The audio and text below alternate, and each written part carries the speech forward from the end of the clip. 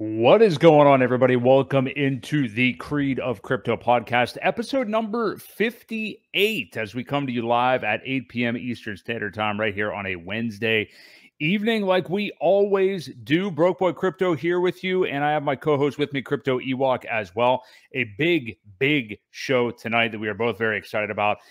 It's going to be short on anything other than the Pulse Chain ecosystem. We have a lot of stuff to get to, tons of news from arguably news. We'll get to our takes on this, but the Richard Hearts tweets on uh, Pulse X and single sided staking today.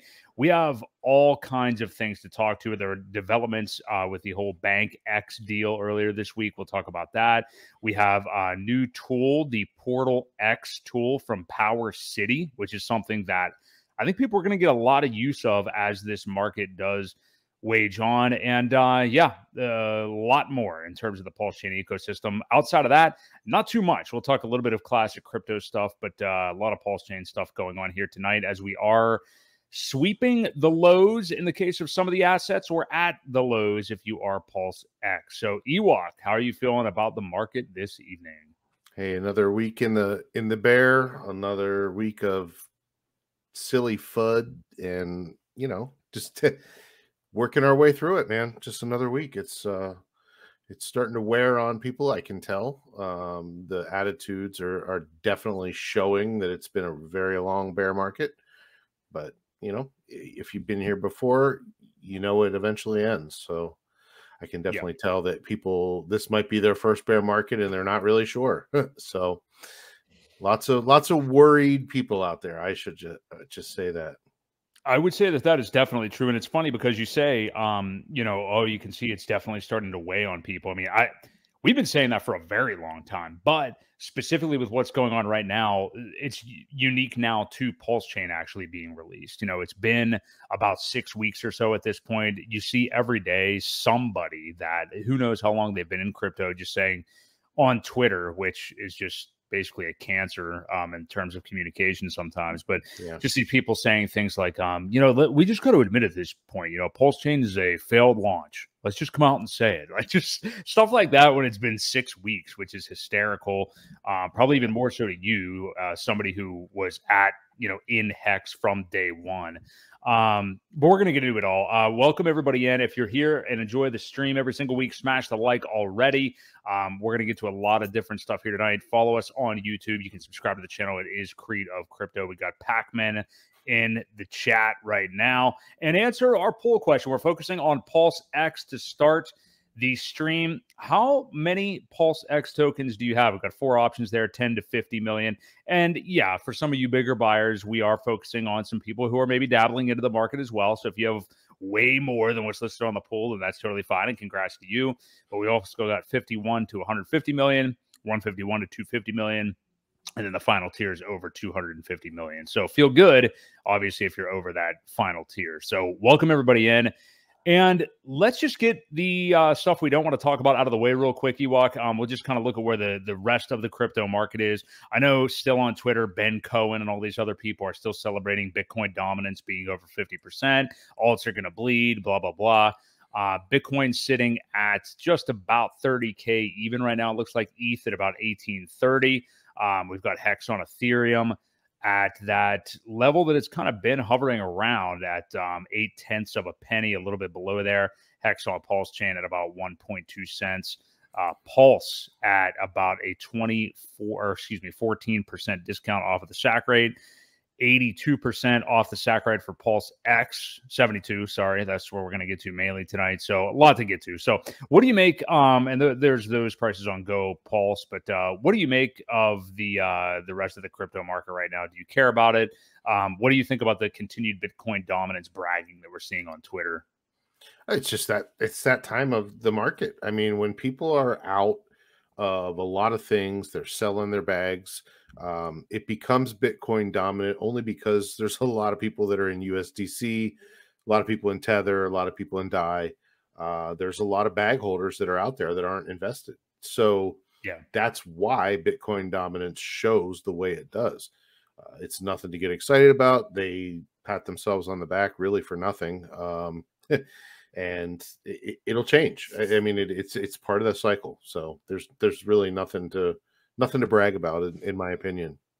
I'm interested to get your thoughts on this. So, um, you know, while we have long talked about this year being a an accumulation year as far as most of the crypto markets, we're not going to see maybe any necessarily crazy action. Looking at Bitcoin history, I mean, there is kind of a lot of room there to run between about 32k and 37k. You know that if the market would get to that 32k point and then you start to get some buyers in, we could see a fly up a little bit. It, it, does lead me to the question. I mean, not that we're concerned with too many altcoins, obviously, in this Pulse Chain ecosystem right now, but it seems like there's a chance we might be entering here um, as we're getting into the second half of 2023 already. Are we maybe getting to the point where this ridiculous bloodbath that the alts are taking, you know, most of them down 85, 90, 95, if you're hex, 99%. Um, are, are we maybe heading to the end of those discounts, like those kind of crazy discounts? Because if Bitcoin would run towards 40 here in the next couple of months, um, who knows? Alts may be kissing that goodbye um, as far as that that kind of discount. You know, what what do you think about that? I mean, are we out of the deep dark zone of where these prices have been here soon? Yeah, I think so. I think we're getting close. Um, and you know, Pac-Man said here, July is coming, guys. Big alt season um, you know, historically, I think uh, what is it? About eight months before um, the halvening is mm-hmm. when the alts kind of start to pick up. So yeah, we could easily be approaching that um, time frame where, yeah, this is about the bottom. And you know, if Bitcoin does run, you know, that always has an effect on the rest of the market. So, um, you know, we could pull out of here and and not see these prices ever again. It, it's part of the the cycle. It's part of the way it goes, and it could very well happen that way. Yeah, um, yeah, and that's the thing people forget. I think because we've been bearish now for so long, is how quick mm-hmm. these things can go too. I mean, once it does yeah. start to fly, the alts will really move off the lows. So, yeah. um, you know, we've had all this time to accumulate. You may have a little bit more, but we got to remember that th- these are not going to last forever, and certainly nope. not with the Pulse Chain ecosystem, which we're going to get to. Um, really quick touching on so there's some macro stuff that isn't really all that huge going on this week, just some number releases and stuff. Jerome Powell, I believe, is speaking a couple of times. I saw that he already spoke once and basically just reiterated that he still says, hey, as far as inflation goes in the United States, we're still a long way from that 2% mark. Um, we're not going to get there this year, he says and they're going to need to just keep tightening. We're going to have more rate hikes eventually, yada yada yada. So, um, how much of this? I mean, it's somebody commented on one of our videos talking about like, oh, this is always going to happen. The sky is falling. Oh, dude, don't you know about the macro situation? What are you talking about and all this stuff? Yeah. And it's like, you know, he was quoting Powell's um, statements, and it's like, I, I, don't necessarily take all that at face value. I mean, the guy is going to say certain things.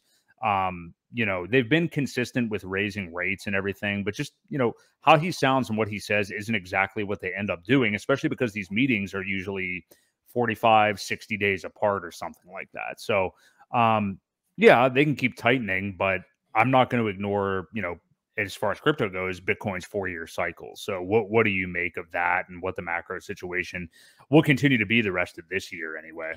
Well, there is a, a, lot of things, and and as we've seen, they're all baked in. Um, it, it, everything has been so far. You know, the market doesn't really react, uh, crypto market anyway, um, to any of this stuff that the Fed is doing. Um, so it's either you know people in in the the, the need to know are, are you know making moves before it happens. That way, there's really not a whole lot going on um, mm-hmm. or it just doesn't really affect it. Uh, so I don't see any anything different coming until later in the year until there is actually a, an actual pivot. So, right. Yeah, we'll see where that goes. Um, I don't know if they're actually going to pivot this year, even based on how he's talking. But again, this stuff is all 60 days apart usually. So I don't think there's that much use really looking at it right now.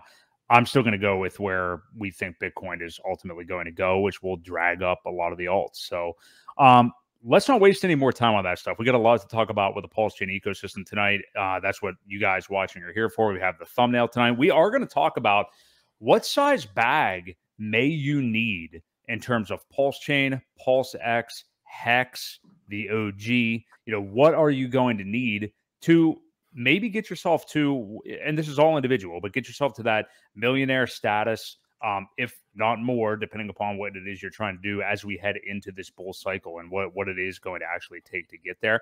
We're not doing any price forecasting necessarily, but these are just kind of guesses anyway on the amount of tokens that we would feel comfortable with holding.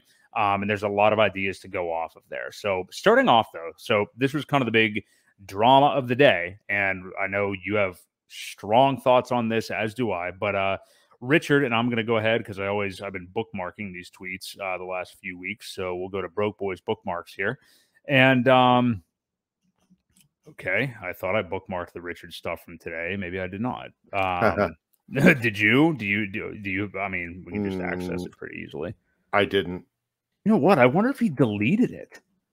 Which one? Um, uh, like the one that set the world on fire this the morning. single Um, sided staking one.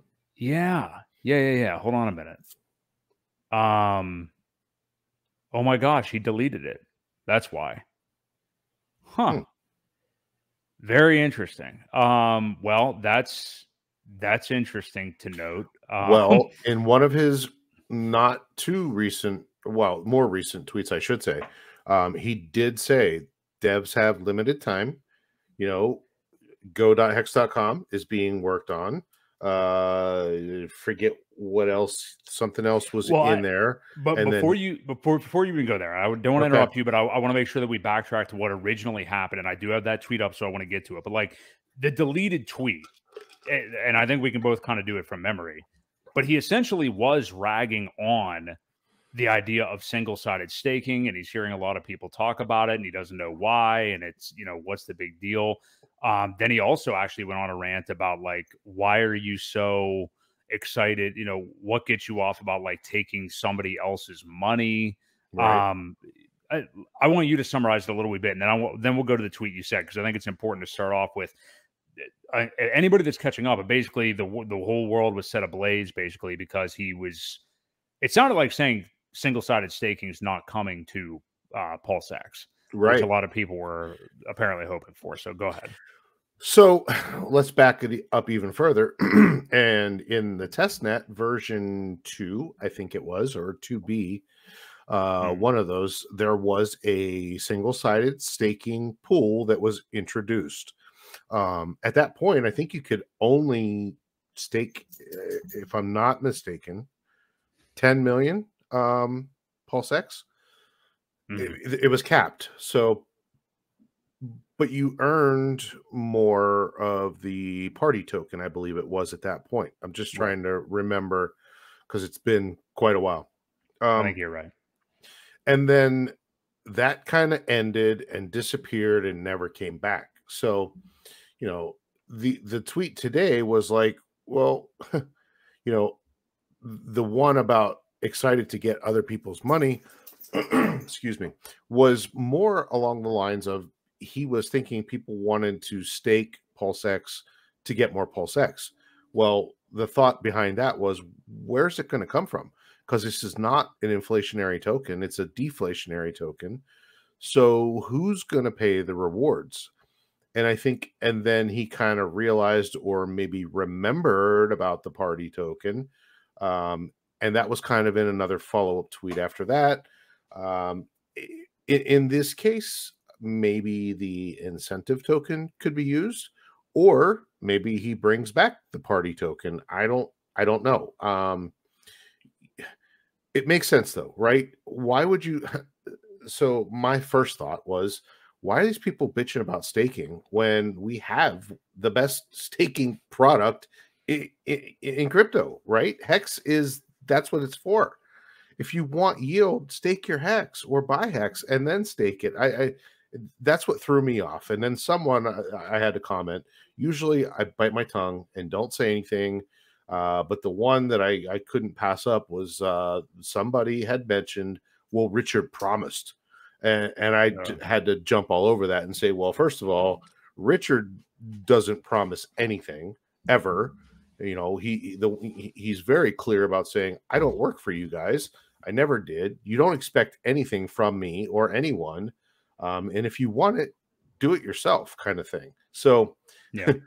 that was you know that was where I had to kind of jump in and say something and be like, I can guarantee you that Richard did not promise. I, I I've seen just about every stream um, and, and know that Richard never promised that we would have it. So he then proceeded to well anyway let's go from there. Um, but after that then like i said you know he came out with the tweet that said you know i got all this stuff other stuff first. Yeah so here i'll read it. I'll, I'll, read it exactly. I, I, pulled it up here. So yeah so okay. he, he i think he realized and you know people are allowed to do this believe it or not um you know some people i think were pissed that he deleted tweets and now that i'm seeing that the tweet is deleted. I did see somebody talking about him deleting a tweet earlier today, and that must have been it, obviously. Right. Um, but you know, probably better to to think better of it. And he probably realized, and he has done this, I think, inadvertently before, but he thinks he's just kind of and he is, I think, playing some kind of 4D chess or just kind of saying something without saying it, which I really actually value in his tweets, and then dumb people don't understand it, and people that read into it a little bit better do but I think he deleted it because he just saw what it was kind of in part causing. So yeah, then later on, and I said to you, and we're going to be, um, you know, vindicated here, as some people would say, off of Richard Heart tweets. Um, but I said to you, those initial tweets that set everybody's hair on fire didn't necessarily say single sided staking wasn't coming. A lot of times he will do things like that, saying, you know, tongue in cheekly, this is what I would do or you know just kind of uh, cluing you a little bit like i i don't recommend doing it but it'll be here you know what i mean right. and right. and i did say that to you so then he tweeted it a little bit later today devs have finite time go.hex.com is being worked on for pulse chain that's another thing we're going to get into tonight a lot of people not a lot i've seen some storms on twitter about why can't i stake hex on pulse chain on the the normal hex front end so we'll get to that he also says the auto router is being worked on, which is going to allow you to seek the best prices for anything you're trading on PulseX. Um, upstream updates are being merged for more for core clients. Wallet Connect is being upgraded. Single sided staking needs to wait. So right there, and that that's kind of what I was thinking, and I think you probably were too, Ewok. Is like he didn't say like there is no single sided staking coming to PulseX. I think that's more that tweet right there is more what he kind of meant. So right. yeah, what, what's your takeaway there? Well, you know, I I didn't even know that he deleted it. I didn't catch it. Um, I didn't know that it was gone either. So, um, you never. People put too much value in, I, I guess, what he says um, too quickly, overreact without thinking. Um, yeah. and, and, you know, it goes back to what I said earlier. People are just so emotional, um, and and they get so uptight about the littlest things. Um, it, I don't know. It, it's a it's a it's a hard place to be, I guess, when you have overextended yourself um, and are in a bad financial position where you can clearly see that people are are, are getting overly emotional uh, about the littlest things. And you know, just like you said, you know, I don't want to lead into this yet, but the the the even the the staking thing, we have other options. People are mm-hmm. just I, I feel like there's just not enough people or not enough gratefulness, you know, for the things that we have and, and the things that that we've we've gotten. And it's mostly because price is down, you know, and all these people didn't see their 2x, 5x, whatever it was within 30 days. And you know, we kind of said that's probably not going to happen, guys. It's probably going to dip just like Hex did, and right. we've been preaching it, but but no mm-hmm. one's listening. You know, they're they're overly emotional about it, um, and they're they're just in a tough spot. You know, some people just aren't happy to begin with, and I think that's another thing too. Um, yeah. Until the price is going up and everybody's dancing around in kumbaya, you know, it's going to be rough for a lot of people, and and they just should just stay off Twitter. But you know, they've got to vent somehow, I think, and that's their that's their method of of release, I, I guess. I think that's what it is. I think a lot of people, you're right, aren't happy to begin with, but then also are offsides with their financials in terms of maybe even their entire lives, but then also how they dealt with getting into the Pulse Chain ecosystem or crypto or over leveraging their sacrifices and stuff like that, and just having way too high of expectations. But um, what you just said. So let's transition to the most interesting part of this that people quickly, people that I think were really thinking thought of afterwards is everybody has the shiny new toy syndrome. Obviously, everybody wants Pulse. Everybody wants Pulse X. They want you know, we've seen people emergency end staking hex to participate in these paltry liquidity pools on PulseX, which makes yep. zero sense. And then they're also wanting to, then they're also looking for the PulseX single sided staking. This stuff is garbage compared to staking hex. Like when, yep. when you have a barometer against the original smart contract that was staking hex for up to 15 years, you don't have to do it that way. Hell, if you have a huge bag right now and you just want to try to time it for the top of the next bull market or something, stake it all at once and get however many T shares you want to. I mean, I think people just, and we've said it a million times over the last few weeks, people are losing what Hex was about.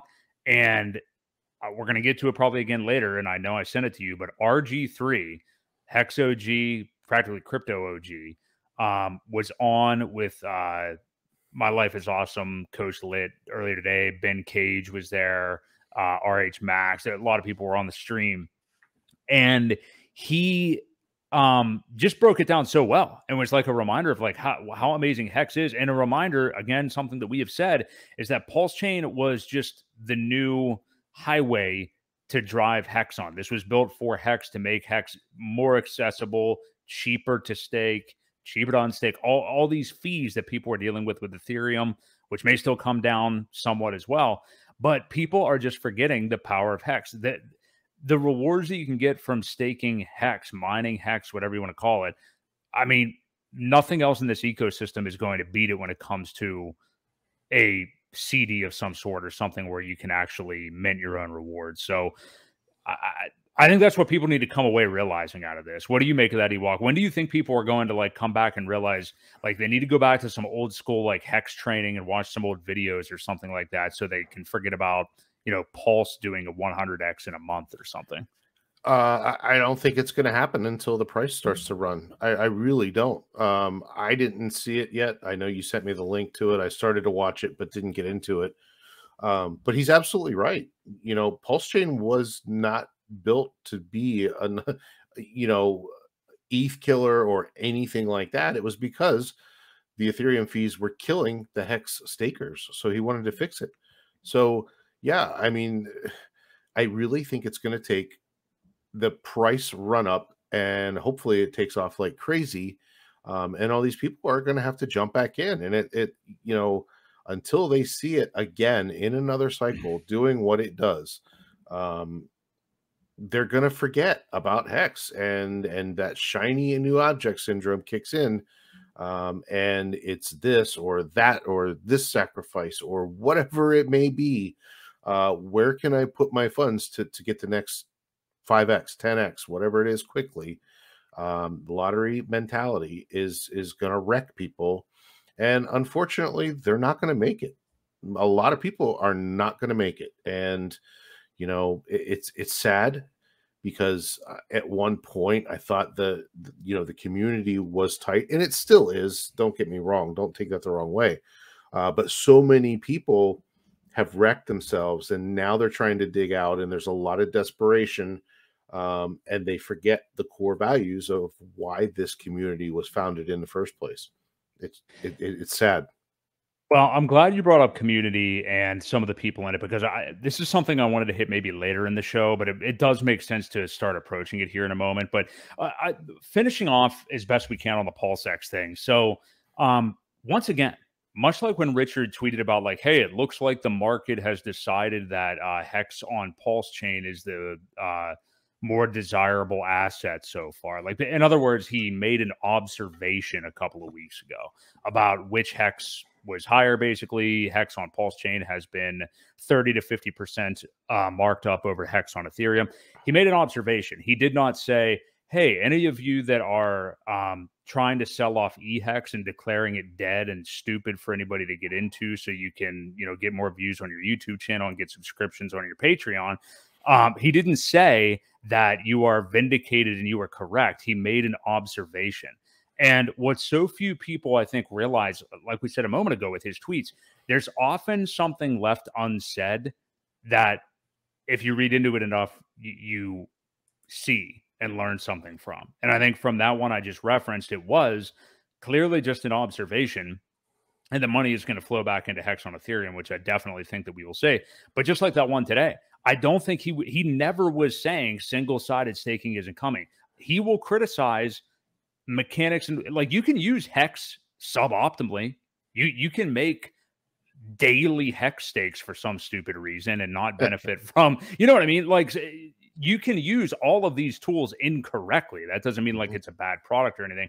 He didn't necessarily say that single-sided staking isn't coming to pulse x and i think that's why he followed up deleted those tweets because he realized that's what people thought it meant and um you know later on said that that's not a priority right now basically. Right.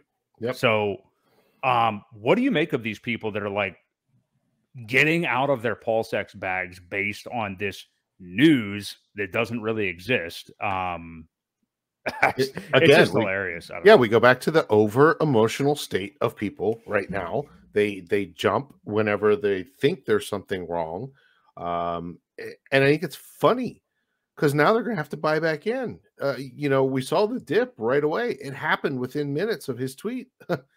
it's over they say it's over. Oh my God, the world's ending. You know, Chicken Little, the sky's falling, and it, it, it, it's it's crazy how they need to get outside, get some fresh air. Of course, now there's freaking smoke from these stupid fires again. Um, but it, get, get you know, your shit together, Canada. If anybody in together, Canada, Canada, so we can get outside and get some fresh air, right? These Please. people we need it. Yeah. Um, yeah, it's over emotional. It's it's it's messed up. Um, yeah, it, it, it dipped immediately as soon as he made that tweet, and I think he realized it, and again deleted it. But either way, they sold, right? I, I, mean, they got out. A lot of people sold because the market dipped uh, considerably there pretty quickly right after that tweet was made. And, yeah. and it's like I don't understand. Again, you've got hex. If you want to stake single sided and get more of that, whatever uh, otherwise, you know, it was going to be another token that probably would have been a dump token anyway. Yeah. Uh, it, it would have had the same effect that your incentive token is looking like right now. You know, people are just getting it and dumping it. So why do you want more of something else that just gets dumped? Why wouldn't you want to stake something that by locking it up does the thing that incentivizes that coin to go up, right? When you lock yeah. a coin up, people buy more than they sell. That's the goal. That is how price goes up. It's the only way price goes up is people buying more than they sell.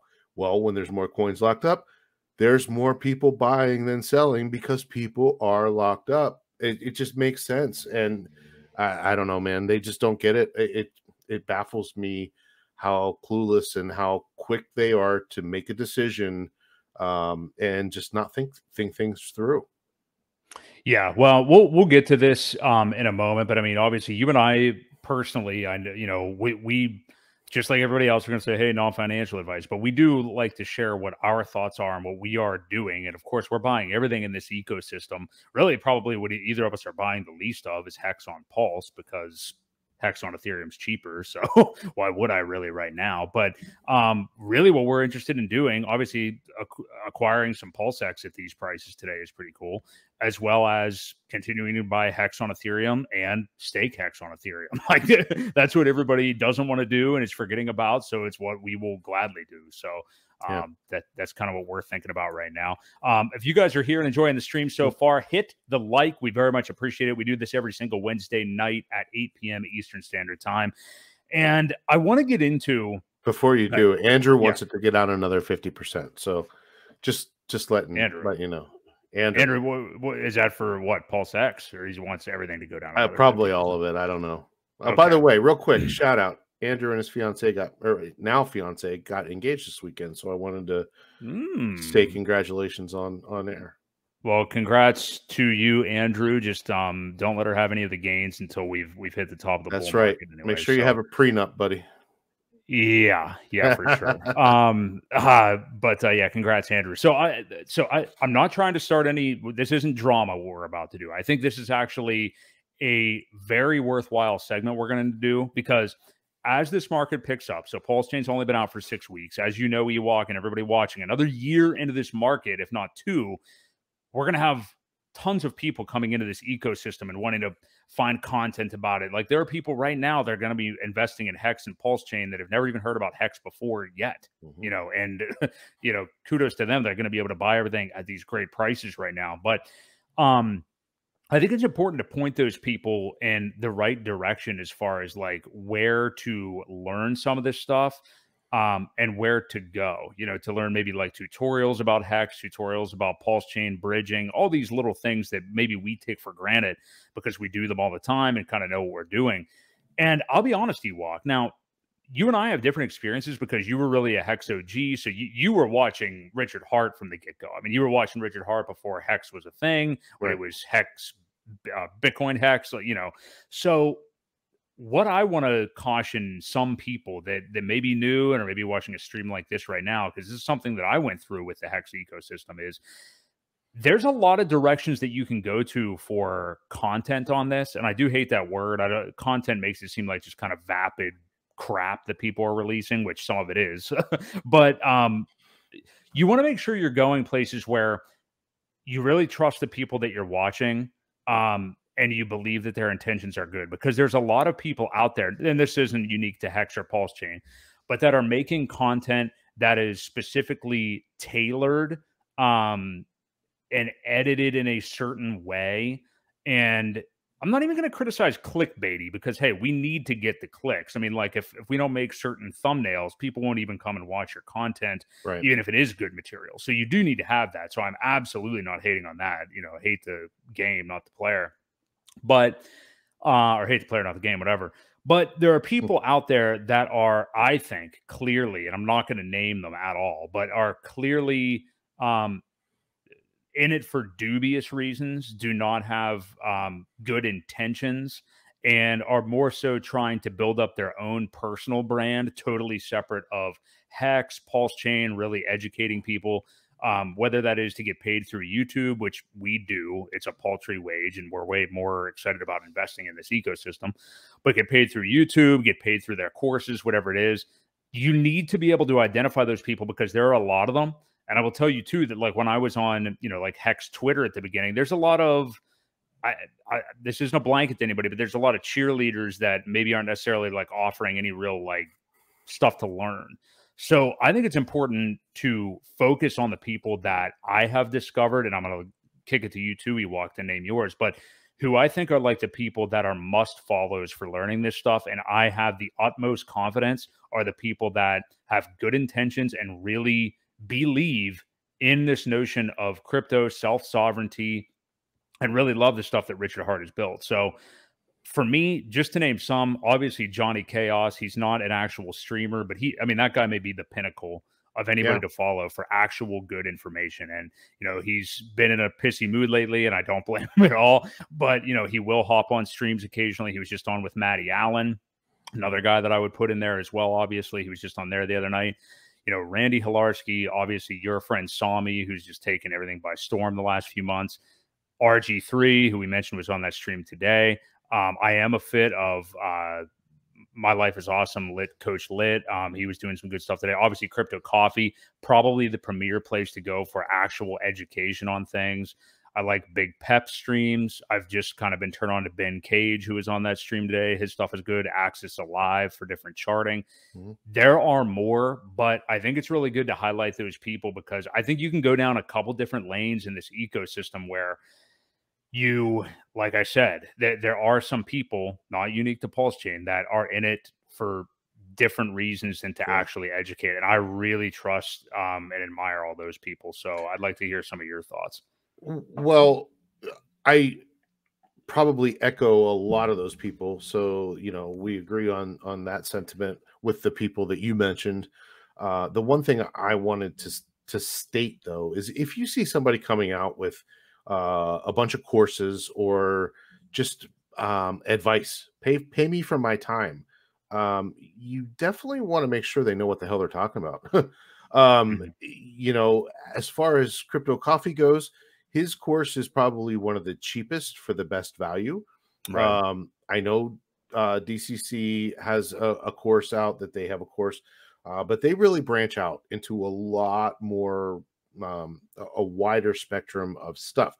So it's a little bit different. I mean, if you just kind of focused on on hex content, Richard Heart community wise, um, Crypto Coffee's course is probably the best value uh, that you can get. Right? I think it's yeah. 200, 200 bucks, and you learn from start to finish uh, just about everything you need to know.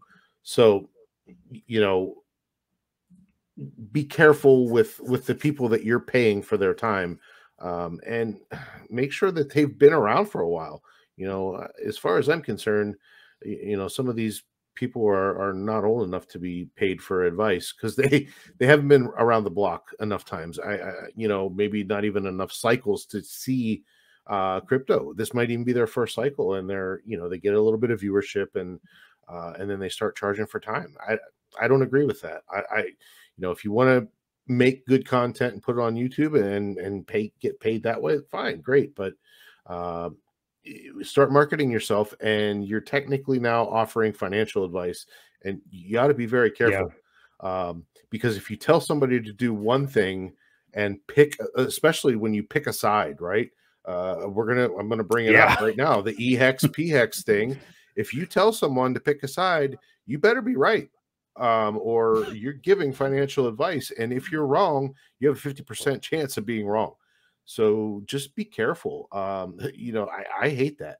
Uh, nothing more than than you know.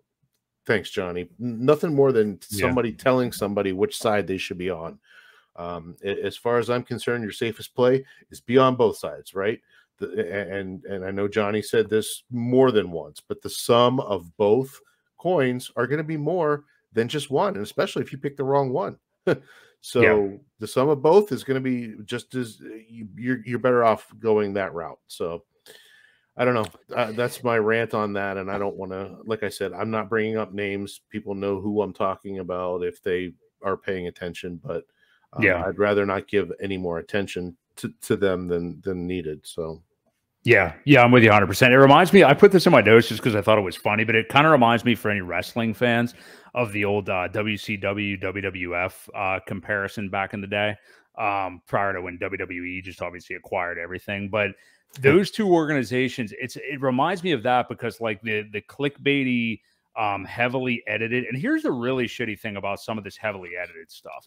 Like, I obviously go back and edit snippets of our show and put them out as clips, and they're pretty clean edited. There's not a lot of, you know, um, weird stuff in them or anything like that. But it's also you and I who are like real life friends that know and trust each other.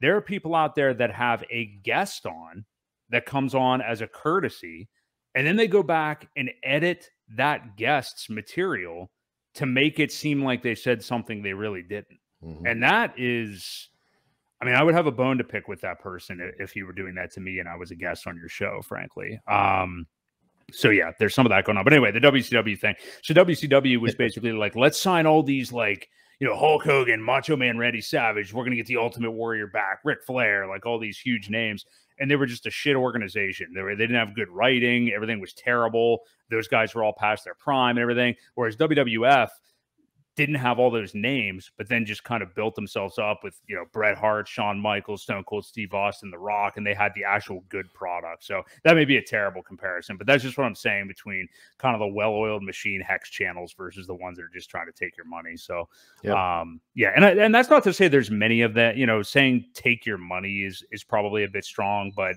I don't want people thinking there's all these landmines out there. And, you know, anybody, training about this stuff is probably a net positive at the end of the day.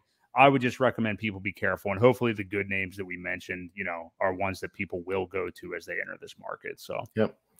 Yeah. And Johnny said it perfectly here. If you hold both, you have a 100% chance of holding the right one. If you pick one, you have 50% 50 50 chance of picking the wrong one. So that's, you know, but either way, the sum of both, even if you had decided back when Bitcoin and Bitcoin cash split. If you decided to be on the Bitcoin Cash side and sell all your Bitcoin because you thought Bitcoin Cash was going to take over, imagine how bad you would feel right now to have a big bag of Bitcoin Cash and and no Bitcoin. You know, right? Yeah. That's Yeah. the position that you could easily put yourself in. So think about it that way. But if you kept both, you have both your Bitcoin Cash and your Bitcoin, and you're you're better off. You didn't lose. So Yeah. There you go. Yep, I'm I'm with you 100. percent So um, so getting back to what what you think the contrarian play is, and maybe not even the contrarian play, but the thing that we are doing right now and interested in doing is, I, I want to buy more hex on Ethereum, um, and I want to stake it. That's like what I'm looking at right now. And speaking of that, so we we've had a lot of issues with this, and I I do agree that this is I don't want to call it a big problem, but I'd be curious to know what is going on. I tried to stake Hex from Pulse Chain on the Hex front end, just go.hex.com. And yeah, it takes a long time to load. There's been many issues with it. Richard Heart in that tweet we mentioned earlier said that that looks to be one of the top priorities that they're working on fixing right now. Um, but there was a tweet the other day over the weekend from uh, Pulse Orca on Twitter. Um, and I, I really don't think he was totally trying to hate, but he was just saying that he felt like it was a big problem. When is that going to get fixed and all these things? And people were kind of meeting his complaints with like, well, hey, there, there's multiple other front ends. Um, everybody is kind of co-signing the, you know, Alex McWhirter Icosa.pro, where you can stake Hedron, stake Icosa. You can also do the HSI stakes for Hex on there. Um, I did one today, and you can do that from Pulse Chain very, very easily on there. It reads it right away. Also, Matty Allen, something that I, you threw out there to me and I threw out there to them, has a front end as well. Um, I always forget what it is. Tshare.app. Is Yep. that- yeah. T- so- well, it's go.tshare.app is the staking part of it. Um, There it is. tshare.app is is just uh, you know the regular website, and then the front end is is go.tshare.app. You know, you got apphex.win. Uh, I think there's five or six other ones, um, and yeah. you know, Orca was yes. Johnny just said it. Orca was being I was going to read that. Yeah. concern troll um eric eric wall jr so Mhm. you know eh, people do that and they're like well how can i bring anybody into this space if if the if the main site isn't working well wh- why Well, there because there's a bunch of other ones that are Right. um and and and i'm sure richard's priorities are to get other things done first there are more important things than a staking front end especially when you have alternatives you know it just it doesn't make sense. You got to prioritize things and you know richard's always been I, we, we've said this many times he's always been two or three steps ahead. So trust him trust what he's doing. Uh, they're working hard behind the scenes even though we shouldn't expect things anything from him. Um, but we know they'll be taken care of. If you know anything about him he's very proud to say how much how how 100% uptime things like that um, and i'm sure it bothers him when things aren't working the way they should. It will be fixed guys just relax use one of the other ones for now and if you can't onboard somebody because of that well then you know that, that's a, that's a terrible reason so Yeah, baby, you you must not know um enough outs to get your stuff staked then. So yeah um yeah, I, I'm with you 100. percent The points that people made about you know it actually being more decentralized, really, the fact that there's multiple other front ends to go use that are community built, I think is a great thing. So um yeah, I mean, I think probably the top place to recommend, just because the layout is so nice and everything, is uh, Icosa.pro for sure. Um, Yeah. And I, I did do a stake the other day with Matty Allen's too. So um, definitely good stuff. And kudos to those guys for building it all, obviously. So um, I want to touch on this quick. And speaking of Johnny, I saw him talk about this the other day. I mean, everybody's been talking about well this. johnny but- just asked if he wanted to pop in you send Sure. Yeah. Yeah. Because I would like to ask him about this. Um, if you want to send him the link, that'd I'll be. send him a be fine. in- i'll send him an invite here hang on It's funny how jo- Johnny just kind of appears, you know, on the on these. all you have to do I- is take chaos and, and Yeah. there he is and then he comes a calling. So we'll we'll get him on hopefully here in a moment. It sounds like. Um, if you guys are here though and enjoying the stream so far, smash the like. We very much appreciate it. Subscribe to the Creed of Crypto channel. We do this stream every single Wednesday night at 8 p.m. Eastern Standard Time. So, um, I want to talk about this Bank X thing just a little bit more. So, um, we don't have to get into the weeds too much, but so basically, if you guys are late to the party on this one, Banks Bank X was a uh, silver. Basically, I, I forget how they actually pitched it. Basically, a stable coin that was um, a derivative of of where silver is sitting price wise. Um, there's some guy named Lance, I guess, that was in charge of the whole thing. Um, so they got sent a it was 800 million hex, correct, from the God Whale. There he is, Johnny like, Chaos. Welcome Johnny in. Chaos, welcome. Yeah, it was like hey, gentlemen. I think it Good was like 880 million. Uh, yeah, 820, 830, something like that. Yeah. Yeah, so so okay, so that that's where we stood. I think they sold a little bit of it off, and then we saw mm-hmm. the other day. This was on Monday that Lance, whatever, somebody involved with BankX basically staked um, the whole thing or most of the kit and caboodle anyway for like 34 days. Um, I'm gonna kick it to Put it into first. three wallets, two hundred thousand or two hundred million in each wallet, and they're doing rolling stakes. Like I don't know, like Hex was designed to do. Yeah. Right. So we're actually teaching them how Hex works, and they're actually learning that you can't just tap the sell button or you get the worst possible price. Yeah. So actually, this is a good thing because they're now learning how the system works. After doing those rolling stakes long enough, they might say, "Wait a second here." Let's go a little longer, right? maybe, maybe I don't want to sell it right now because if they were to sell it right now, they get a million bucks. Yep. They lose nine million right now. Yep. If they were to sell right. it, okay. So if they're scammers, that's exactly what they'll do. And the next day, whoop, like it never even happened. It's only two days of the adoption amplifier. Yeah. We had we had 500 million come off 365 days, man. 500 million every single day. If you yeah. think about it, let's say they sold at full market value. That's 10 million dollars. What do we do in daily volume? Yeah. Right. So it's it's not as big of a deal as people think it is. And unfortunately, the new guys, they just hear 800 million, oh my god, and they can't fathom that amount of number. Well, and and and here's the thing, you think you're safe somewhere else? No. There's whales in every single coin that can wreck the price at a whim. Yeah. Right? Temporarily yeah. wreck the price at a whim. You know, and people don't realize that. That is that is something they need to be educated on. You can't be chicken little and duck for cover every time somebody's going to make a sell you know and this is this is this is a problem. And look you know we we've got people in the community that are that are that are good people okay? And they're scared. And then their fear projects on other people. But you got to yeah. remember every one of us we're we're just human beings. You know we're going to react with you know certain ways. And when you are panicked you are not thinking rationally. You know that's when you're going to make the biggest biggest mistakes is because you're already in fear mode right? Yeah. now as as as streamers and and as community members it's kind of our responsibility to let people know okay i understand that you you see that as a lot of money. And uh, i understand yes it can temporarily wreck the price. But if you're staked out for a year you need to worry about a price a year from now, not what's going to happen on the five minute chart. Yeah.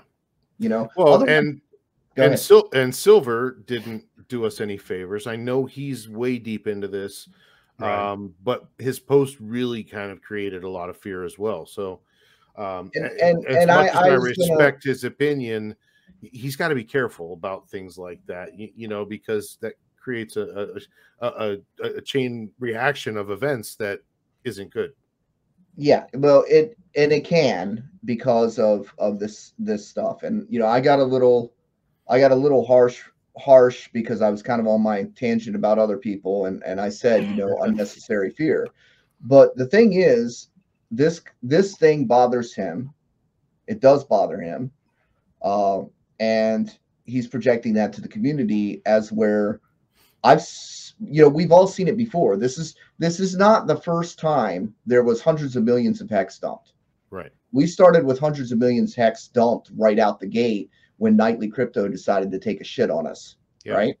Yep. 150 million emergency unstaked it, sold 90 million one sell market dump. In Hex's infancy. Yeah, if it was early. any other coin, that would have destroyed it. So these dumps, these large dumps, these large dumps that we sustain through, don't show you weakness. They show you strength. How do you know how strong something is if it hasn't been battle tested, right? And and and that's what we've seen over and over again. Just before, just you know, when we had that first initial dump, it was like 200 million hex and the price price went dead, bloop, like it never even Mhm. happened. Not that long ago, we had a 200 million hex dump. Okay, and and when you are in the when you are in the chain, and I had to stop doing it. I had to stop doing it myself because I get into the chain analysis and I start seeing people making stupid moves, and I'm thinking to myself that I'm not doing a good job of educating people, and I'm I'm taking it all personal because I'm like, how are they doing this stupid shit? It's like, am I not loud enough? Am I not, you know, projecting enough? What's going on? And then I think, look, I got like 24,000 followers. Yeah. I don't have a stream Can't be and there is over two, you know, 300,000 300,000 hex holders. They don't even know who I am. I'm taking this shit Right. personally. They don't even know who I am. And if they did listen to me, they probably ignored me anyway. And that isn't my problem. So all I can do is is focus on the people that want to listen. And you know, I I like Silver. I think he's a cool guy. I learned a lot from uh, chain analysis and stuff from him. The the problem we have is people are psychologically default fear, right? Hmm. And that is for survival purposes, Sure. right? And that's ingrained into our our essence that we're default fear. And uh, you know, in and and the fear of the unknown is is the biggest, right? Nobody knows what's going to happen until it does. So your mind is going to start filling in the blanks negatively, and that is just human. That is Yeah. just human. That's survival. That is human, and you have to fight that shit with all your life if you're going to survive. Because you know, in in this space, because the fear is around every corner. The fear is around every single corner. This is nothing new. This has all happened before. Yeah. Especially Uh, this time in the market, you know, yeah. this time in the cycle anyway. yeah so i mean it's it, it's it's really nothing for people to get worked up about but but unfortunately the greener they are the more unsure they are Yep. because they've not lived through it before right you know the first time you get into a fight you are nervous as hell but if you win the fight then you get a little confident right and let me Yeah. tell you you guys have taken the biggest ass whooping that you could possibly take in this space right now and if you can survive this you can win any fight Yeah. so hang in there. Hang in there. Don't let people get you worked up. I think you're exactly right. I mean, pe- it is a, a fact that I mean, people will do more to avoid pain than they will to attain happiness or go after their Yeah. goals or anything like that. So yeah, they, they're going to check the fear box first before anything else. And another point about what you just said, Johnny, is like on these other chains, you know, because all the time, yeah, eh, all these chains are going to have to deal with like dumpage from whales and things like that. Keep in mind on pretty much any other one of these chains, you know, we're seeing a lot of people talk about like optimism and arbitrum and all this other crap right now, Aptos and new layer one.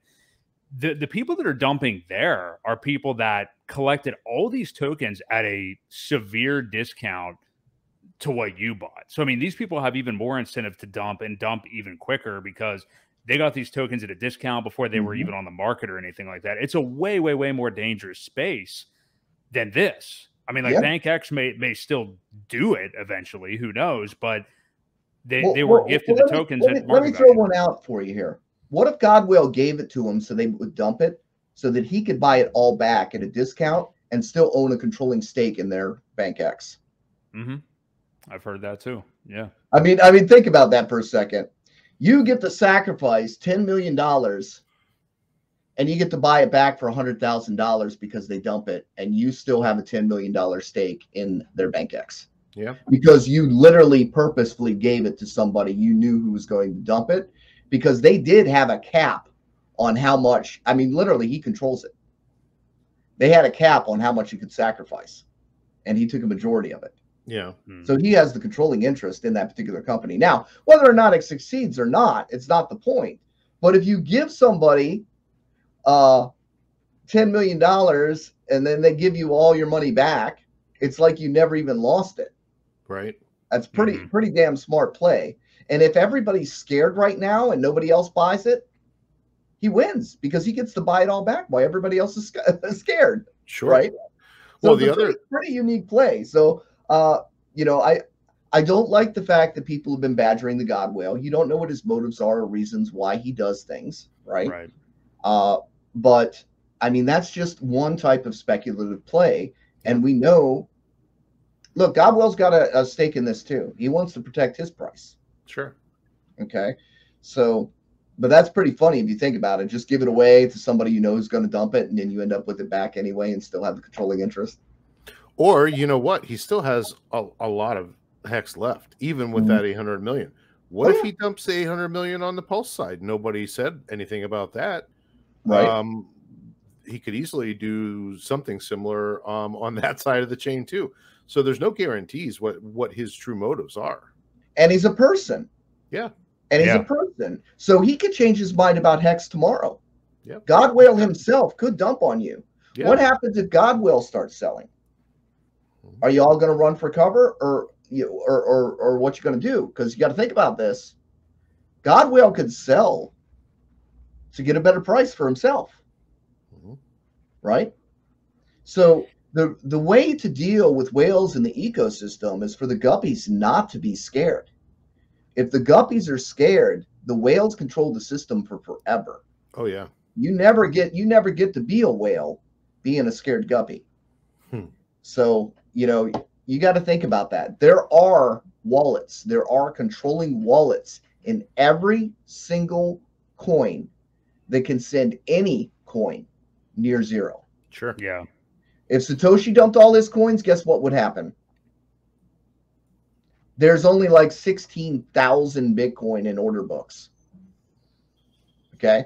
So would dump it. Dump it. you, you dump like 20,000. and How many wallets have 20,000 Bitcoin?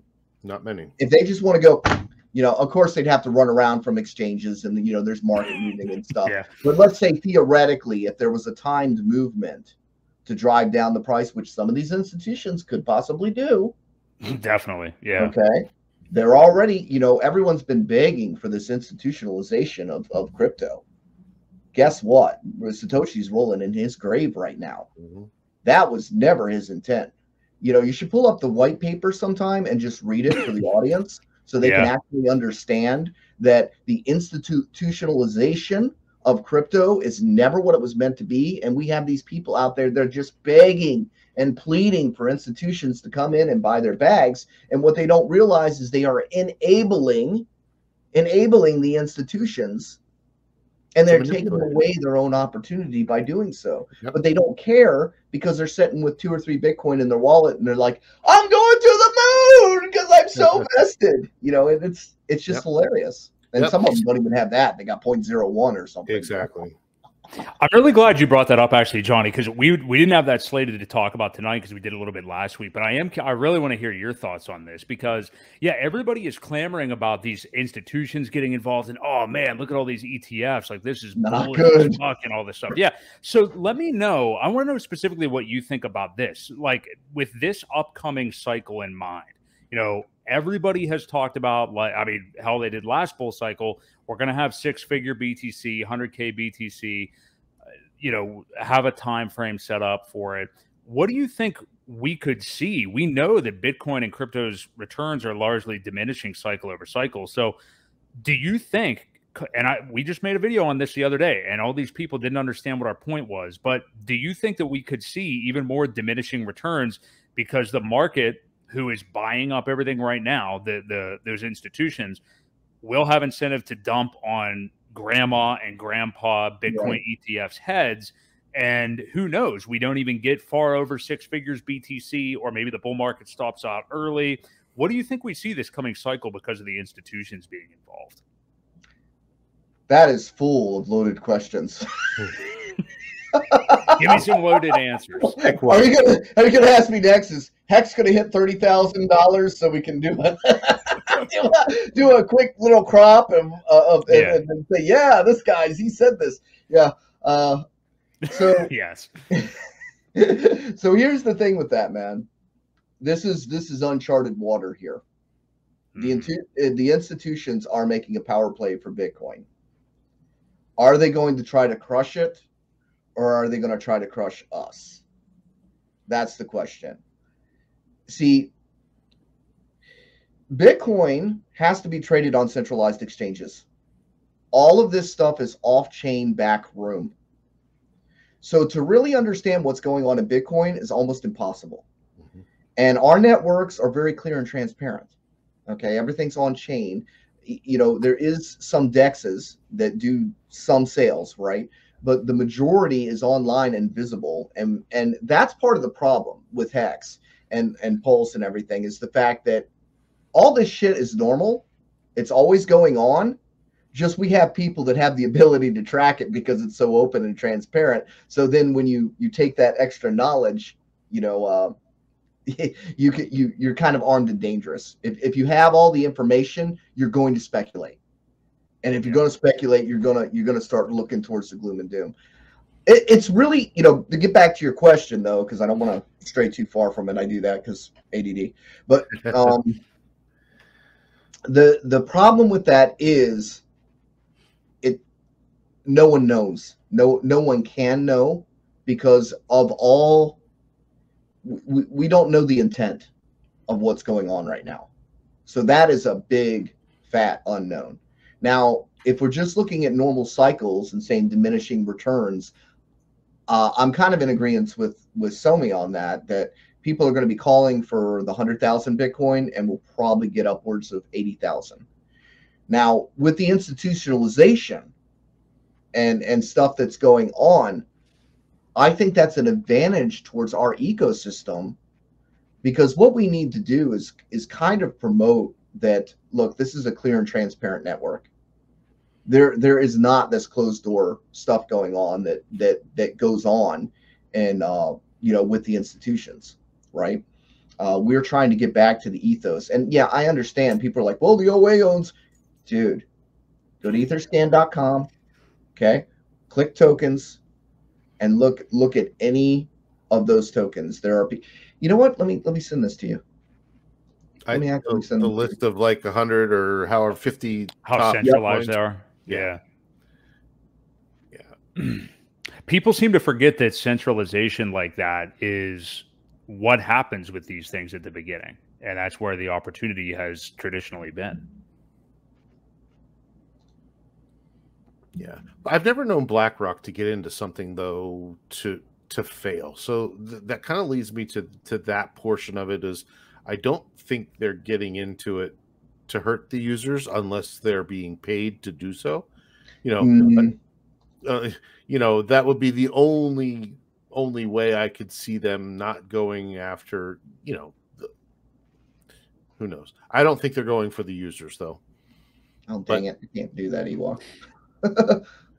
I was actually going to say I, I, feel the opposite way. I, I, feel like they they may be doing that because you know by the time that you incorporate one of these ETFs into whatever your portfolio is or something like that, and then the price starts going down. I mean, BlackRock's going to have control of the fund anyway, and I'm sure they're taking like hefty expense ratios out of it and stuff like that. So, um, yeah, I don't know. I think they're getting ready to dump on people's heads. Probably that's maybe that's just the uh, you know masochist in me or the realist, I guess. But it's quite possible. Are you trying to? You got it, Johnny. I'm still looking for it. I'm oh, letting you guys talk. Right. I'm still looking for it. You guys talk. I've done talked a whole bunch. All right.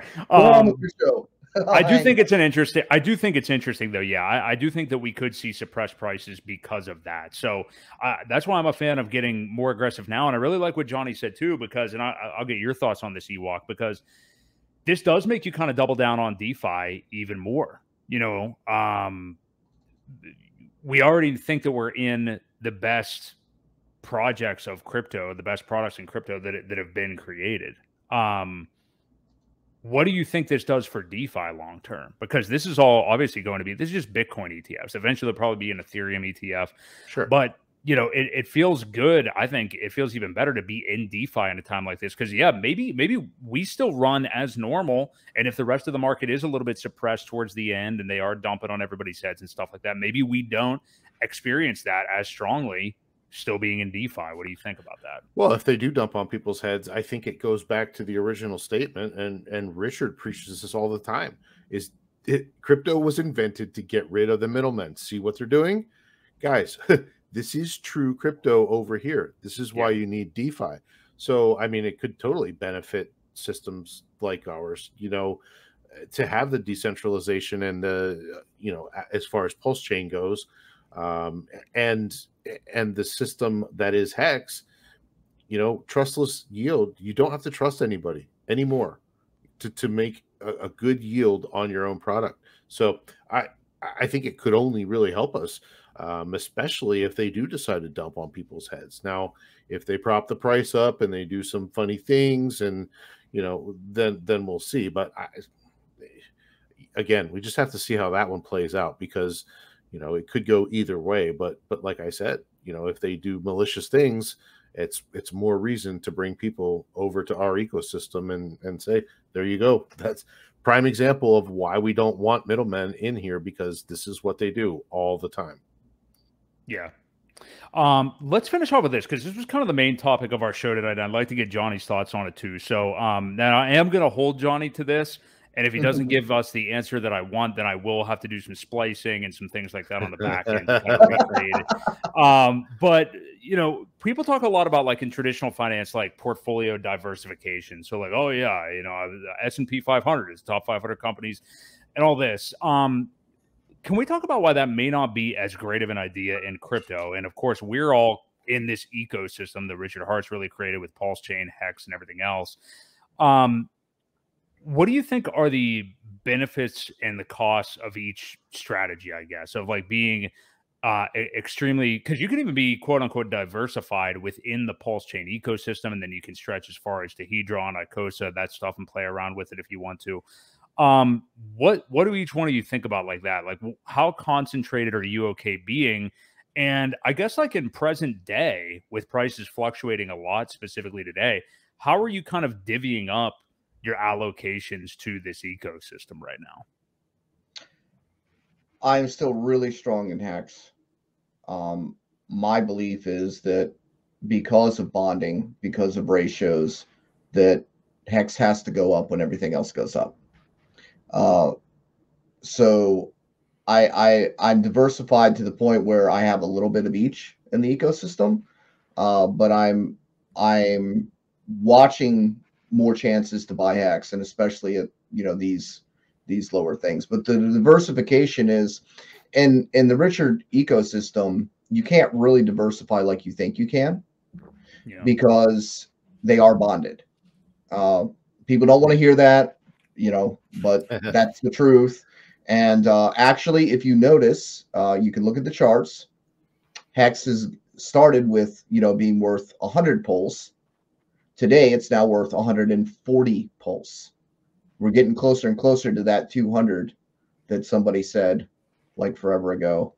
But um, yeah, so uh, we're we're we're Hex is gaining in terms in pulse, uh, and what we have seen so far is that when people sold their pulse and their hex or their pulse and their pulse X, everything went down. So we're mm-hmm. seeing the bonding, but we're seeing it in reverse right now. We haven't seen the magnitude of what it's going to be like when the when the candles turn green. I think it's going to be really clear for everybody how bonded it is and how, you know, some things are leverage plays on others because they're worth multiple of those things. So when that thing rises, the it gets it gets a multiple of it because you can trade that thing for 130 or 140 of this, right? Mm-hmm. So if that that that ratioing continues to gain, well, now you're trading this one thing for 200 of these things. So if this thing's going up in price, but you can trade this thing for 200 of them, the price has to simply be what the ratio is because you can trade that thing back for the 200 and then trade that thing out. So any way you want to look at it, the thing that's worth 200 of them has to be valued at that. You know what yeah. I'm saying? So there really isn't a lot of diversity in the Richard Heart ecosystem because the pools are large. Now, some pairings were not made initially. Okay, that's what we're looking at. Some pairings, we just let the chaos happen and let everybody go their own way and pick their own sides and and do whatever instead of trying to. Uh,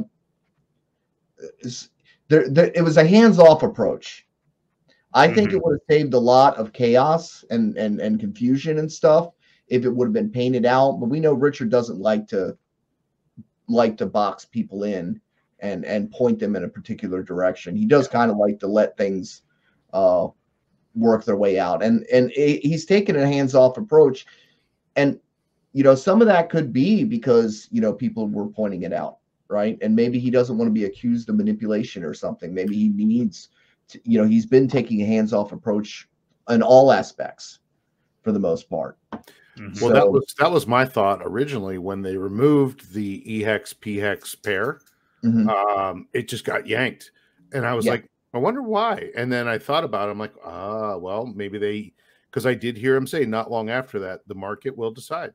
We'll let the market decide. I obviously he didn't want to be responsible for any kind of you know I, I wouldn't even call it manipulation but when you bond it one to one or very close it was it was very very close to one to one it still isn't that far off um Yeah, four thousandths of a dollar. yeah And- and- holding and- this whole time about four thousandths of a dollar. yeah When we're a dollar, is four thousandths of a dollar going to mean anything? right And I know people are saying thirty percent, seventy percent of a penny. yeah This that's gets not much different as we get bigger numbers, guys. right so does it stay at that 30% Mm, you know i i doubt it um i think they i think they go back and forth i really Yeah. think you're going to see premiums and discounts on on both of them and as you know as time goes on if that t-share rate really gets out of whack people are going to take advantage of it it's going to Oh yeah, a even if even if we move from you know we're at one point five now, even if we move one point five to two, that means half price T shares on the other chain, Yep. Mhm. Which means double the yield on the other chain. So if you're getting double the yield on the chain, that's way more than the 30% in price. right Yeah. Yep. You know, so yeah. It's, But it's- then, but to get that, people have to, you know, it, it just seems like we were talking about this at the top of the episode. There's this departure from people, you know, shiny new toy syndrome. Obviously, they're looking at Pulse Chain, they're looking at Pulse X, and there's just, I feel like this kind of newer crowd that isn't really as familiar with hex staking mechanisms and d- just doesn't understand it. And I'm wondering when that comes back in, Johnny. I don't know if you have thoughts about that, but I mean, maybe maybe it's just a story I've created, but it just seems like people are not thinking about that right now. They haven't been And- wrecked enough yet. They haven't been wrecked enough yet. They have they haven't had enough of permanent loss. Uh, they see numbers and they're chasing it. Uh, I'm actually going to put a video together on basic basic market dynamics.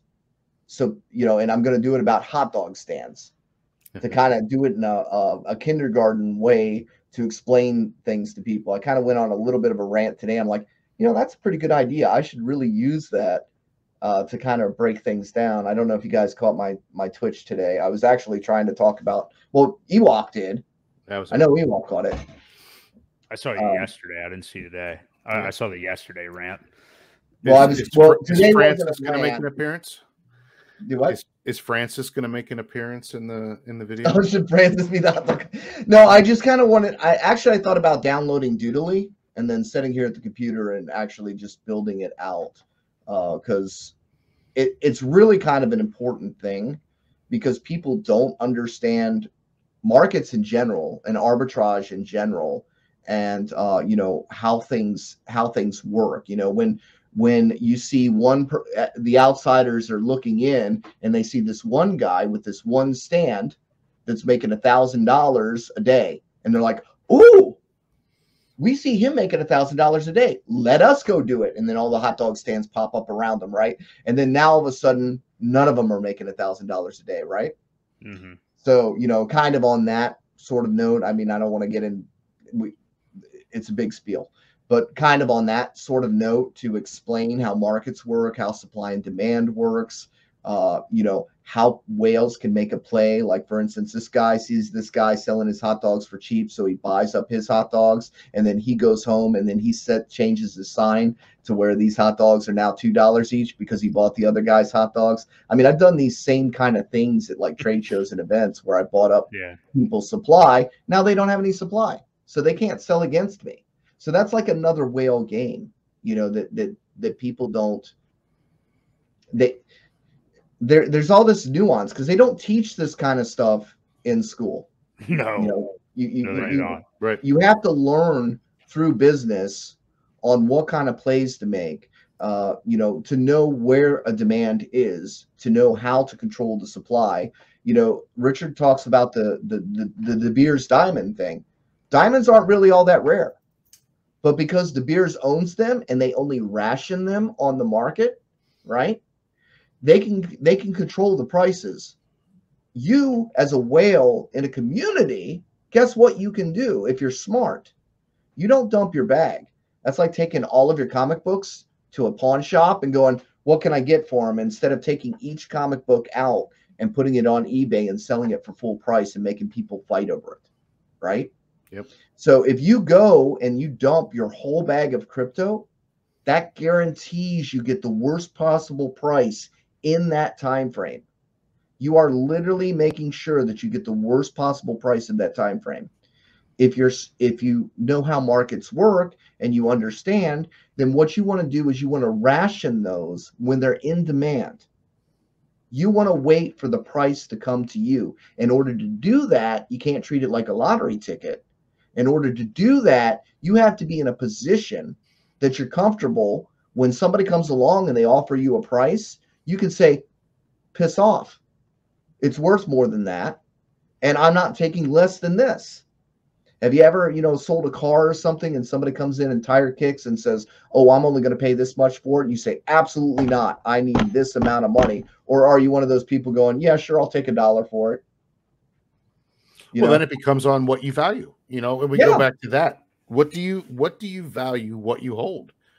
And if people are selling it for pennies, then they don't value it. Right.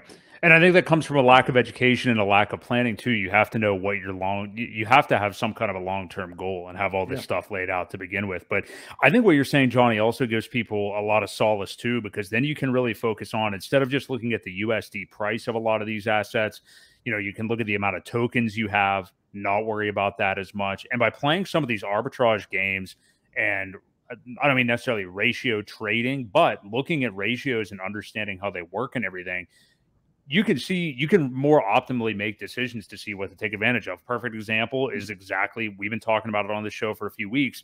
But what you're saying about the potential for the hex on Ethereum T share rate and the, the payout per T share. I mean, if we do start to see an uh, an imbalance of significance to where what you're getting by staking hex on Ethereum, even if there is a 50% split continuously as we as we move up the market from P hex to E hex, um, you know, it, it's going to be beneficial to stake it.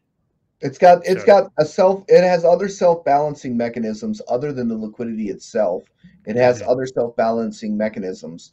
And the the the other aspect of that is is what what people don't understand is that the Ethereum side is closer to the exit that people are familiar with, okay? Mhm. Yeah. but it's also closer to the entrance. Yep. So when money is coming into crypto, it's going to be quicker for a lot of people to get into the Ethereum, just like it's quicker for them to exit the Ethereum side now. And you know, I made a made a post about that, but I I try to be really vague about these things because I'm not I'm not trying to influence people or tell them what to do. I'm just trying to let them know how things work and and and things to take into perspective that they might not be considering. You know, Ethereum still has 10 million users. What do we got? 200,000?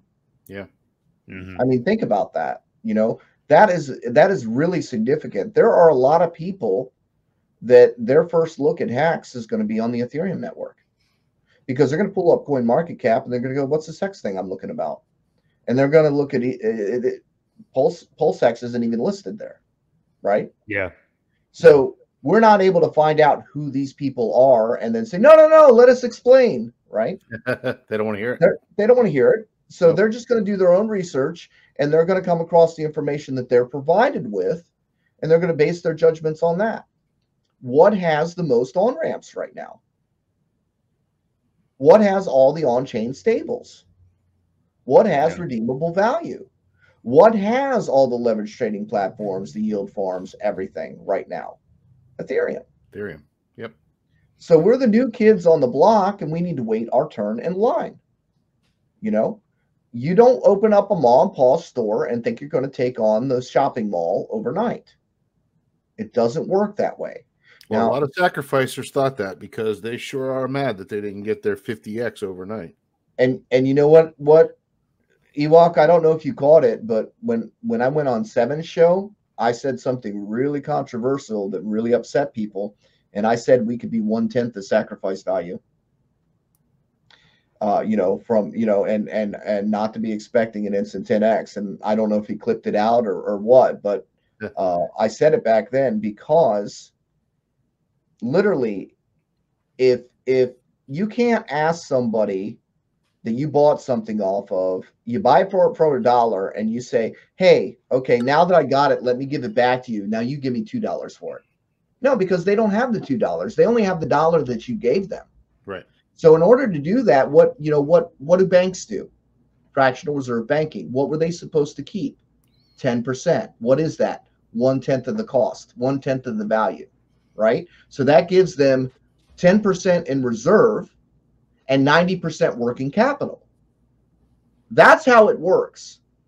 You don't buy something from somebody and turn around and sell it back to that somebody for a 10x because they would be giving you nine dollars to your one that you gave them and they would run out of money and the show is over and you end up with a rug that's not how it works what you need is new buyers that value what you hold and if you don't value it yourself because you're trying to dump it on people's heads guess what they're not going to value it either so as the network grows if you're not trying to dump your position immediately that's going to help it grow a lot quicker. But if you're dumping on everybody's head that's walking into the door, well, guess what? You get the worst possible price. You don't get your 10x, and you actually cause that. You know, when you're the one dumping, guess what? You're the one that's devaluing the thing that you hold because you are taking your comic books to the pawn shop and saying, I don't care, just give me what you can Yep.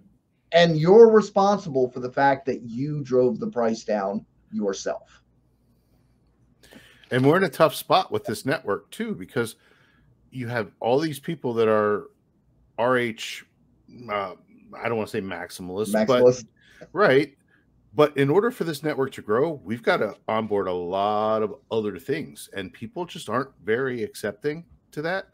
So it puts us in a tough spot. You know, you want the new things to Well, come you don't on. you don't have to play around with it, but it's going to Well, come over don't. anyway. So there's no real there's no use in resisting it, right. Mhm. right? Yeah. So we've already got a fork of Aave. We've already got a fork of Balancer. Uh, we we've got a fork of liquidity coming in. Uh, you know, we have uh, you know Portal X. We have the whole Power City entourage of stuff coming in. No one says you have to use it. No one says you have to like it, but you don't need to shit on it either, Right. right? and that's the big thing that I think we need to get the word out there that you know. But then again, if they're going to stay, they've got to be successful too, or, Yeah. or they or they don't stay. You know, if, if it's not if it's not profitable for them, or you know, if they're not Well, once any it's on the blockchain, it's staying. right, but that doesn't mean they keep maintaining it or building on it. You know, if they're not getting any kind of support, um, who's to say they're going to spend the time to continue? Well, they'll get support. Everything gets support. You know, it's like people think if they open up a business, people are just going to show up. No, no, no, no, no, no. You got to be on the map. Mhm. If you, you know, I own a brick and mortar store. Guess what? Guess what, guys? People still think I'm an AutoZone place. They still think I'm audio, audio, uh, audio store, because you know what? They get used to that audio store being there for so long that they don't look. They don't pay attention. They'll drive right by it. They don't know something has changed. And I've been here for 10 years. I've got a fire breathing dragon that I set out front. You would think it would get their attention. You think they would notice, right? Now, my online presence, on the other hand, because of search engine optimization and stuff, you know, I can work that, right? Uh, you know, because of going conventions and trade shows, I can make people aware of me there, right? But as far as actually having a brick and mortar sort of situation, you can go invisible. Nobody knows what's in a unmarked building, right? So, and and people get used to things being a certain way. People get attached to their brand. You know, uh, it's hard to get people to change. People are change resistant. Yeah. Yeah. They don't know there's change until it hits them in the face, or they have a problem. They have a real bad problem, and they're looking for an alternative path. Right. And they stumble across something. So you have to build the roads, even if you have a website, right? So people are like, well, you just make a website and you make money. Yes, when the internet first came out. Now, if you don't search engine optimize, optimize you get so pushed so far down in the algorithms. And if you don't own keywords, you get pushed so far down in the algorithms. It's the equivalent of owning a brick and mortar store in the middle of the woods. yeah. yeah. So if you don't build the roads to get people to where you want them to be, and you don't direct them down that path, guess what? They don't get there. They never get there. You can have the best product in the world, which I think Hex is an awesome product. It's not a problem with Hex. It's the problem that people are unaware or they don't understand. And we're not, we don't have enough reach to Yep. help people understand, or they're scared of it and they're afraid. And so people do do two things when they're afraid. You know, sometimes they just walk away. Ah, ah, it's too complex for me. I, I can't get into that. How many times have you tried to onboard somebody like, ah, that's too much? Because we got to keep it simple. Yeah. Yeah. We don't need to tell people how to build the fucking engine. All we need to do is tell them how to drive the car. You turn the key, you step on the right side, you're good You to go. go. Yep. Okay. If you need to stop, brakes right there, you know? And and and that's what we need to tell people. And we have a lot of people that are so intellectual and and they they expect people to communicate and understand on their level. Mhm. And that's difficult because not everybody does. The reason they're here is because they understand it on a deeper level. That doesn't mean you can expect everybody to do that. You might as well be speaking English to somebody that only speaks Spanish and, and think they're understanding you, right? Yeah. Because you are speaking a different language and you have to roll that back in to where, okay, let me pretend like I don't know anything. Now, how do I how do I explain this to a person? Right. and that's always where I roll into my analogies and stuff is because I realize that when we're talking to people, it's intimidating. When you start saying, "Oh, T shares 555," this is all jargon. This is esoteric stuff. This is stuff that you you know, the average person is not even going to comprehend even if they understand crypto, they're not going to comprehend this stuff. Yeah. And then you can have a result where people feel like they're being excluded even though we're trying to be inclusive and we're trying to educate them, they can feel excluded or we're talking down to them because we're talking above their head. You have to meet people where they are. And that's where the onboarding is going to happen. You know, talk about the orchards, talk about apples, talk about, you know, these things take time. You don't you don't plant a tree and expect, you know, to go back out tomorrow and start harvesting apples, right? people need to understand these basic concepts so that when they get in, they're not just chasing the green candles and treating it like it's some kind of degenerate lottery ticket thing. You know, because when they mm-hmm. do receive those lottery winnings, how many people actually survive sur- survive winning the lottery? Not many. Right. Yeah. Either end up dead or broke.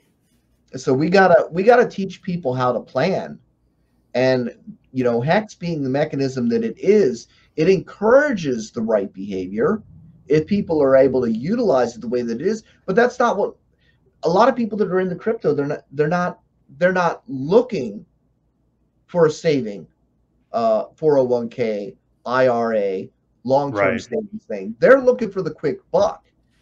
So Pepe. yeah, they're they're looking for the quick bucks. So when these quick bucks happen, boom, they're off chasing these green candles. They think they're going to win.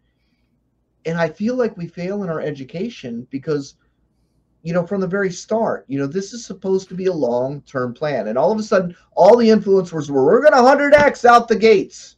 Yeah. You drew in the wrong crowd. What did you expect to happen to the price? The price gets artificially inflated because the wrong buyers are coming in for the wrong reasons. And then when it doesn't work out the way that they wanted it to immediately, they're turning around and dumping it on the market. So who wins in that situation?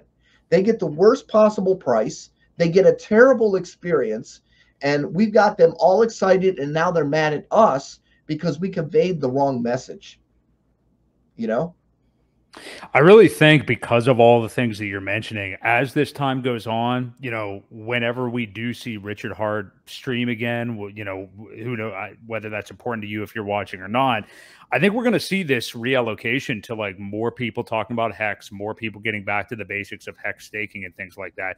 Number one, once the shine kind of wears off Pulse Chain and Pulse X being a new thing, but as this market wages on, I mean, this year is still going to be relatively boring for crypto standards the next six months. So I think that we are, I'm confident we are going to see more of a shift back to that hex education, back to hex staking. And I agree with you, Johnny. Yeah, we need we need to do um, even a better job of it and just start talking more about that than everything just on PulseChain and PulseX. So um, any other final thoughts from you gentlemen tonight? I think that's a good place to kind of kind of end it. But I'm I'm with you 100. percent We need to get back to that long term thinking, and and I think we will get there. I think we're going to see it. And I think that's what Richard Heart will focus on whenever he does kind of come back in full force when the market picks back up. If he does, when do we expect if he him does. to come back? Right? Yeah, yeah. Well, that that's the other thing too. You see a lot of these people that are begging Richard to stream. Why? And Richard knows it.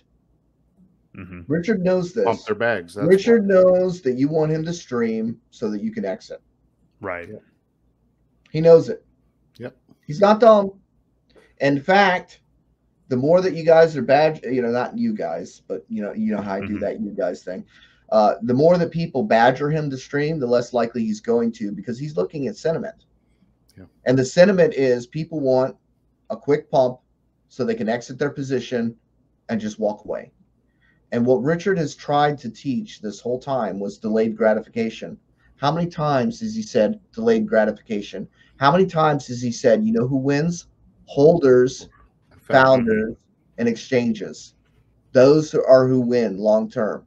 Right now, it looks like the tw- traders won because we're looking at a certain time frame, right? Yeah. But mm-hmm. you know what? Here's what people need to understand. There was only this much time that you could have bought the top. There has been this much time that you could be buying the bottom. Yep. Okay. Yep. And if you're buying the bottom during this much time, you can go watch Crypto Coffee's movie that he put is is, is YouTube that he put out about uh, the biggest secret of crypto. If you would have dumbly just bought a hundred dollars a week, you would have outperformed everybody. You know, if you just just just bought a hundred dollars every week, regardless of where the price was, because of the time that we were down is so much more significantly longer than the time that we were up that it would have balanced.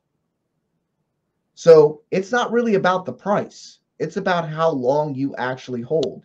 And if you're not planning on holding long term, you know, then pick something else, whatever. Yeah.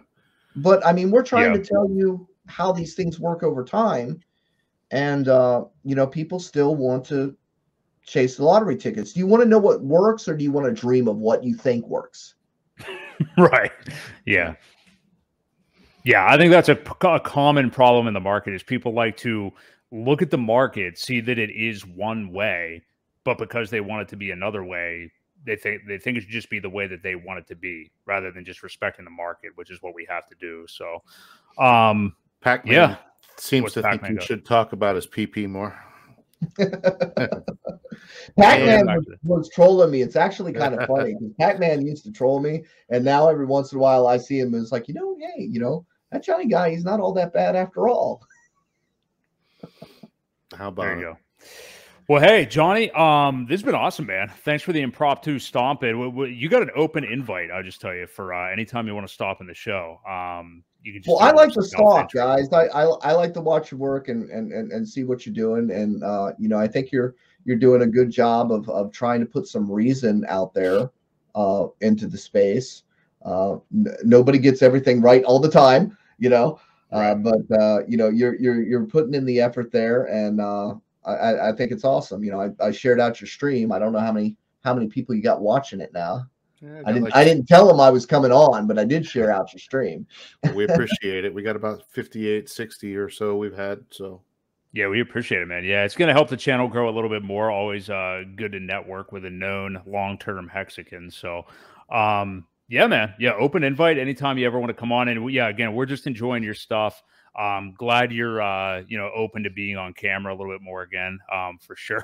No, there's, there's But I get it, guarantees on that. I, just, I do I- get it. You, you mentioned me earlier. You, you said chaos one too many times, and uh, I, I had to, I had to appear. So, You got to uh, appear. and I wanted I wanted to thank you guys, you know, for your support and uh, understanding that you know, uh, it, it can be real frustrating. Uh, you know, when you are trying to help the newer channels, and and you guys know, I've I've I've, I've you know.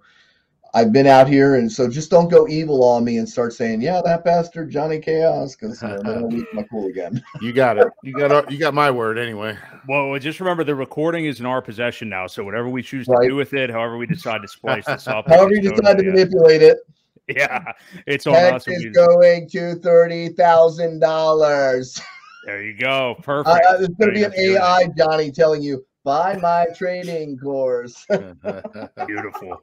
Well, hit us up with your Patreon link a little bit later, and we'll put that in the description. I description. got a Patreon. I do now, I guess. I just didn't know about it. All right, man. Well, hey, it was good seeing you, bud. And uh, yeah, open invites, and uh, I'm sure we'll touch base soon.